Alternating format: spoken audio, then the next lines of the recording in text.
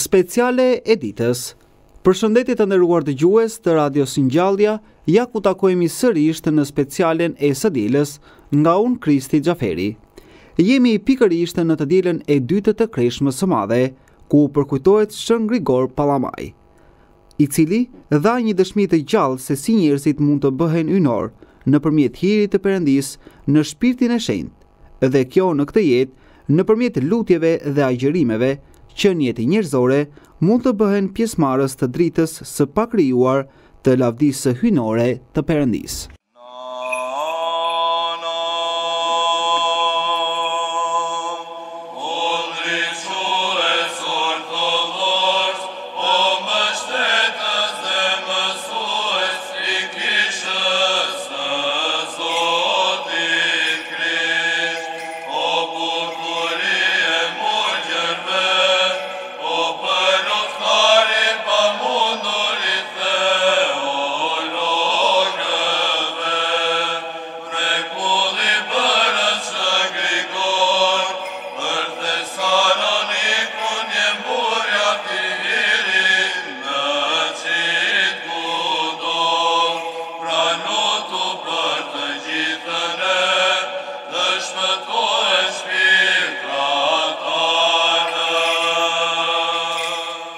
Për sa i përket shërbesave të zhvilluara në Katedralen Ngjallja e Krishtit këtu në Tiranë në këtë të dielë të dytë të Kreshmës së Madhe, transmetuar njëkohësisht dhe në valët e Radios Ngjallja në FM tetëdhjetë e tetë pikë pesë megahercë, ajo e mëngjezores u kryesua nga At Grigor Pelushi.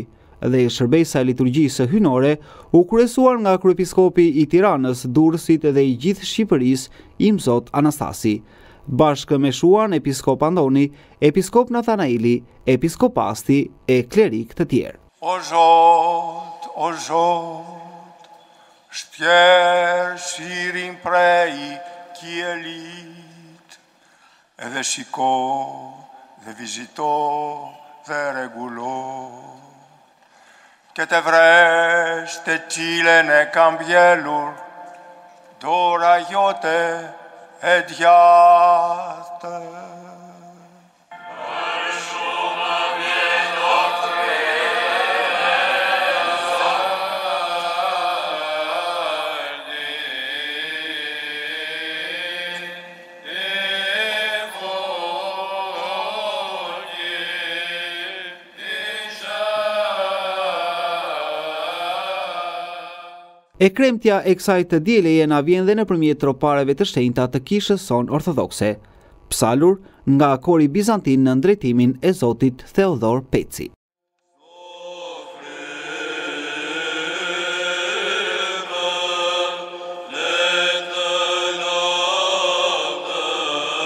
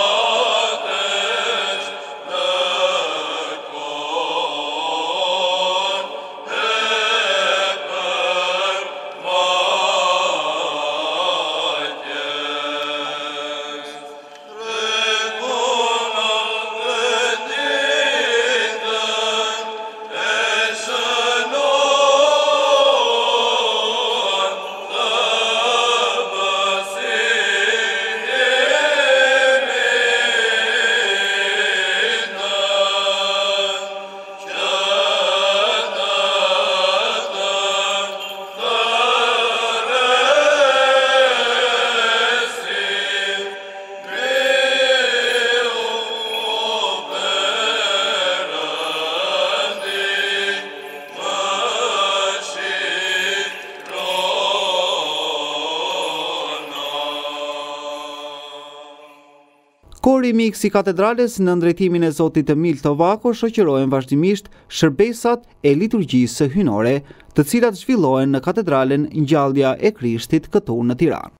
Lavdi ty që na rrëfeve dritën, lavdi Perëndisë më të larta, dhe mbi dhenë paqe, dhe mbi njerëzit mirëdashje.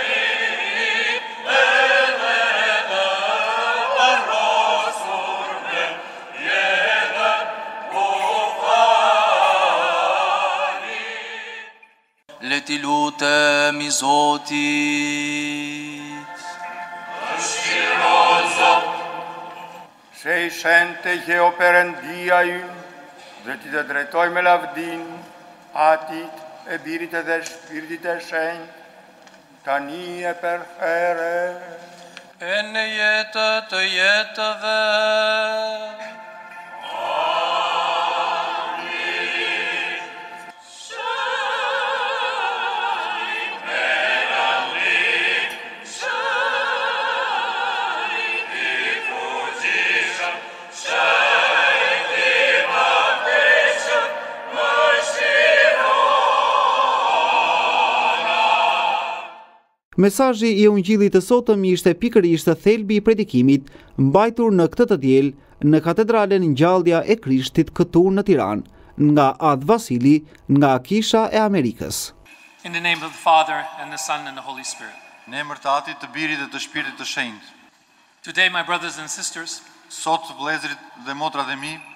We learned that Christianity. Ne mësuam se Krishterimi. Is not a convenient. Nuk është i lehtë. Martyrdom is not convenient. Martirizimi nuk është i lehtë. And bearing witness is not convenient. Madje edhe dëshmia nuk është e lehtë. Looking for God is not convenient. Kërkimi për Perëndinë nuk është i lehtë. The story we hear from the Gospel of Mark. Tregimi që dëgjuam, historia që dëgjuam nga Ungjilli sipas Shën Markut. Is there was a man who was paralyzed. Fliste për një njeri i cili ishte i paralizuar. And in the house many people were crowded inside.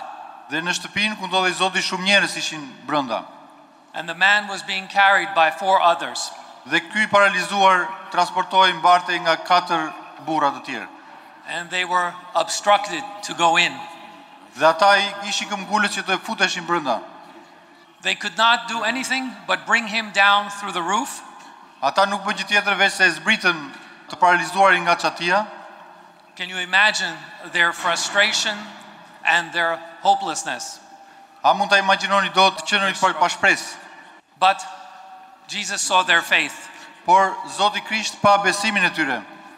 And the man was lowered from the roof. Dhe burri zbriti nga çatia. And Jesus heals him. Dhe Zoti e shëroi atë, Zoti Krisht e shëroi atë. Yet there are questions.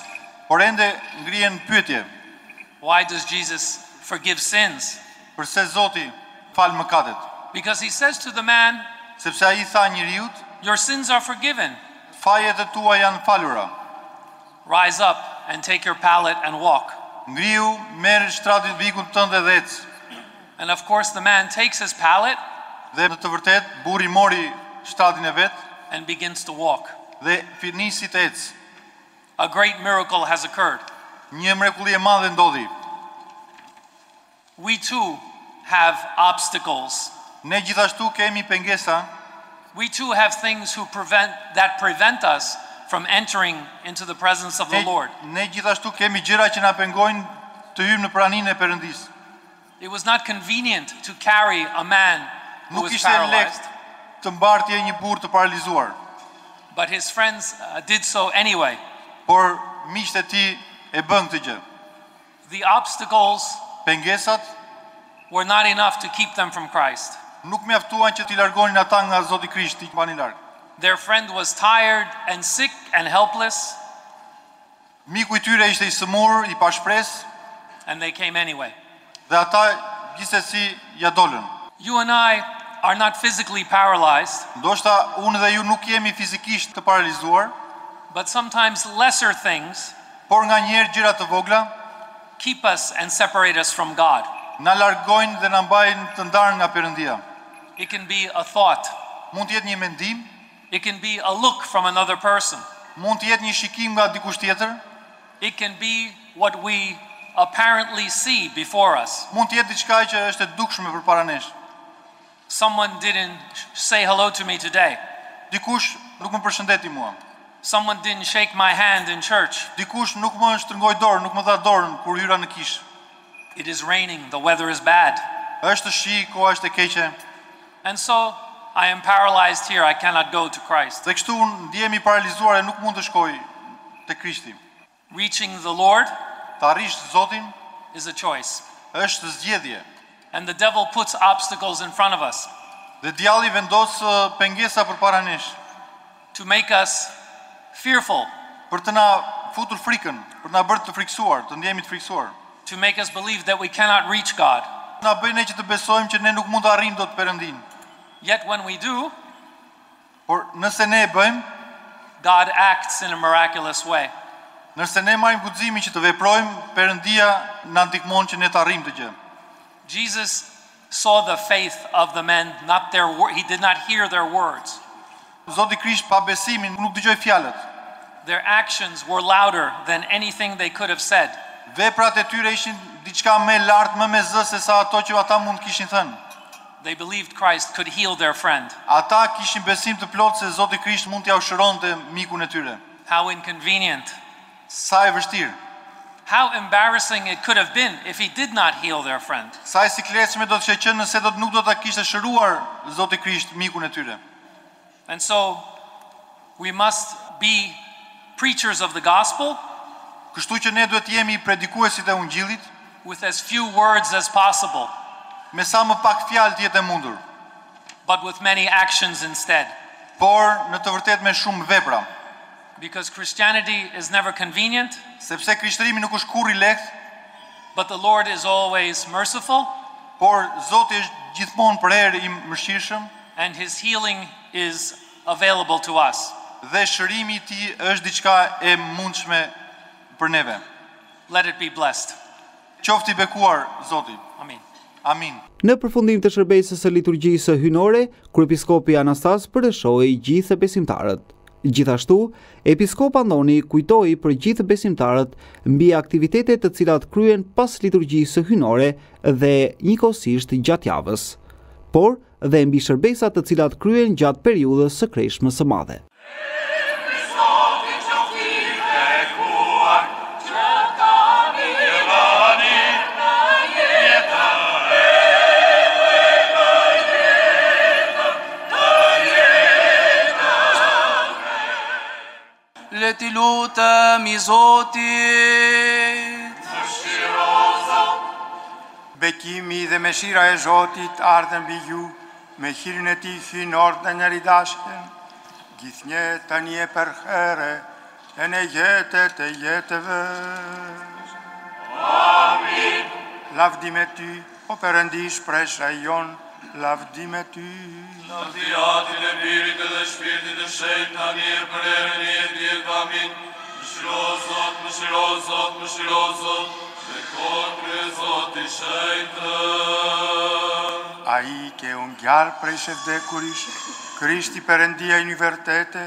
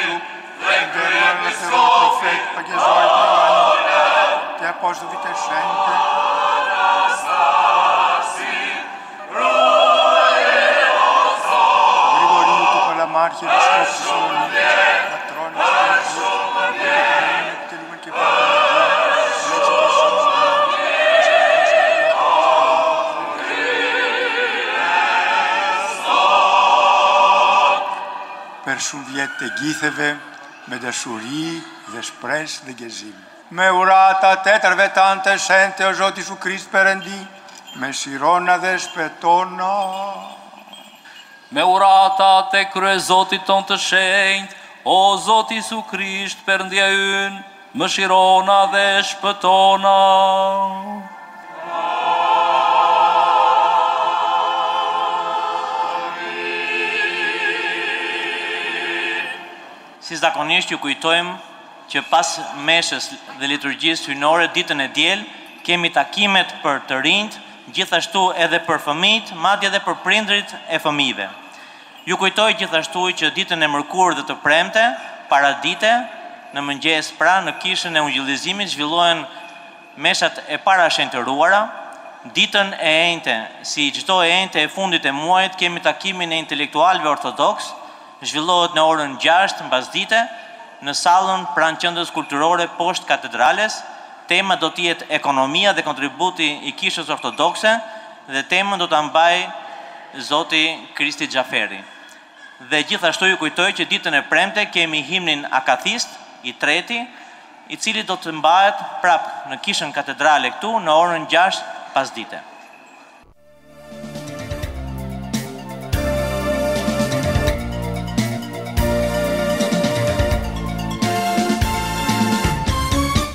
Dëgjuat Speciale e Ditës.